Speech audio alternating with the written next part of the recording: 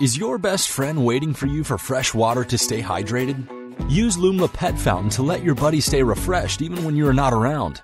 Setup takes only a few minutes. Attach the water pump in the center of the container. Make sure you put the wire through the open space and plug it in the wall. Fill the holding cup with water. It holds up to 4 liters. Next, place the water bowl on top with the pump in the center. Add the filter and place the top of the fountain.